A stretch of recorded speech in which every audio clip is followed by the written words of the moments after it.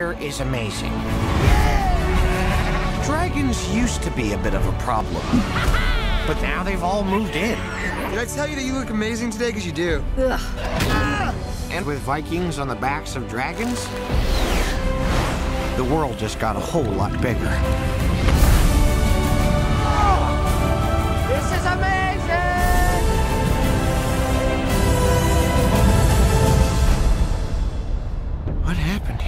What could have done this?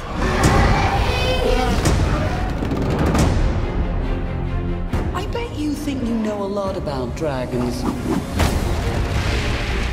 Let me show you some of what you don't know. Should I know you? No. You were only a babe. But a mother never forgets.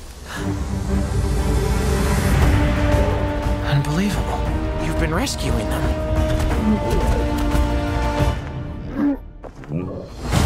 Something is coming. Something you've never faced before. The dragons are mine now. Protect our people. It's your destiny. What you're searching for? It's in here. Come on! This is very dangerous! Are you kidding me?